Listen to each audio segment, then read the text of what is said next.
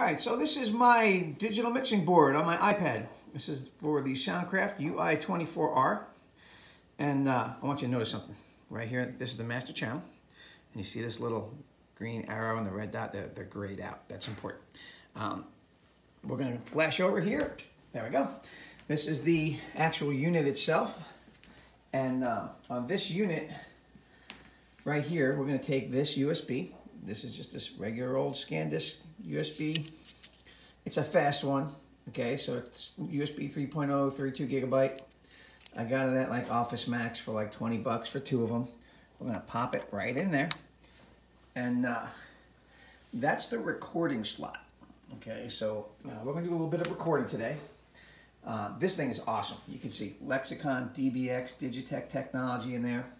And all these fancy wires, don't worry about that. That's just guitars and microphones, keyboards, drums, all, all the inputs and outputs plugged in. There's even two sets of headphones going in there.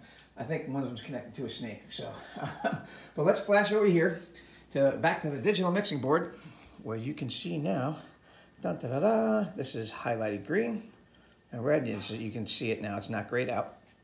All right, so that enables us to record. Now it's telling us we're, we're eligible for recording because USB is in there. We go to this little arrow right here, and here we have um, all the different files. Now this is on multi-track. I'm gonna do a couple different things here. First, I'm gonna delete that session. Ta-da, take that out. I just did that a minute ago and it's, uh, we don't need to hear that. and then over here where it says activate sound check. Now this is required for playback on the multi-track. So if I turn it off, now my microphones will work and everything coming through the PA system is gonna work.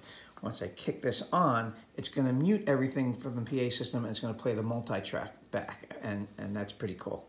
Um, so right now, if we go here to multi-track config, clear all, nothing is selected. I can choose individual things to, like, like channels to, um, to record, or I can just select all and record everything, okay? Go to multi-track, push record, and bang, it's recording. You can see the counter going everything. Go to two track. Now this is master left, right, out. Okay, push record, and it's recording now as well. You see it's illuminated.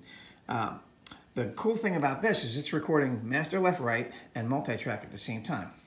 So bear with me for a moment, because I'm terrible at this YouTube thing by myself. I don't do any editing. This is all like a live video thing.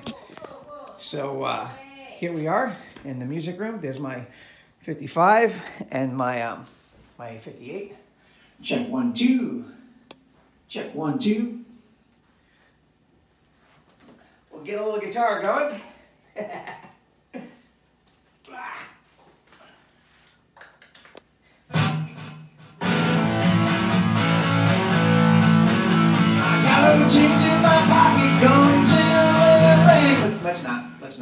stop right there. Nobody wants to hear that song. All right.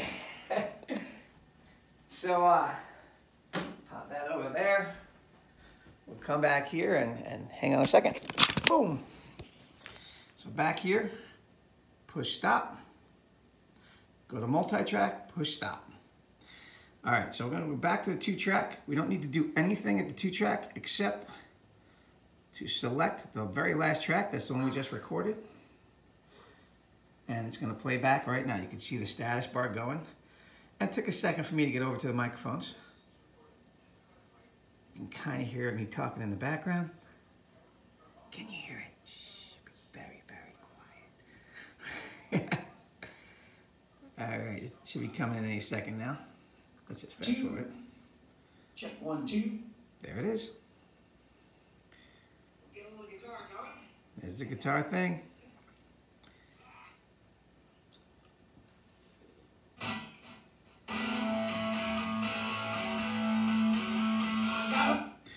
Right, so we don't need to hear the rest of that. Um, from here, you can take a master left, right. If you got a good mix going, you, you know, just that's going to be the whole sound coming out of the system, um, and bring it into a DAW and do your mix and master there. You just just EQ it and, and master it. Um, the thing about this one that I have to point out is, if you notice, there was a little twinge of feedback when we started to play it, okay? So we'll come back here.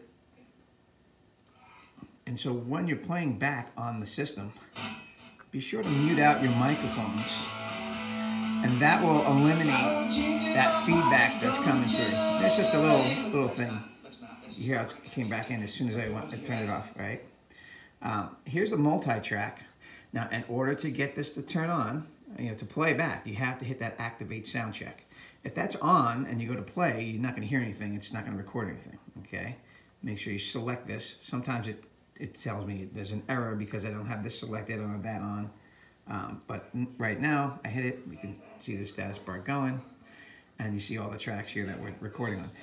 This is going to be a different volume, but watch this. This is cool. We're to go over to the mix gain. You can see that it's picking up on the 55. It's picking up on the 58. And there's some coming through other, like bleeding through other lines. Now we can go to this one, go to the gate, and gate that out. We can take that signal right out of there. Um, this channel is also cool because you can go here and you have amp modeling, which is Check pretty one, awesome. two. All right, so Check one, two. there's that mic, there's that mic. I sang to the 58, so, and here's the guitar. And here it comes in, you can see your mix right here. Go, Let's just stop right there. Let's see Nobody here. wants to hear that song. All right, so there you go. There's the recording. That's how it's done. It's pretty simple. Um, you know, let's say uh, you, you don't like that section, let that session, just delete it, just get rid of it, and no one has to hear it ever again. You can go and record a new one. All right. Remember, this is really, really easy. Uh, it just takes a little bit of used to, uh, getting used to in the system. Just making sure that you run through the stuff just like I did here. And uh, just- if I can do it, you can do it. I'm not technically savvy. I hope you liked the video. Please like and subscribe, and uh, I'll see you in the next one. All right. Well,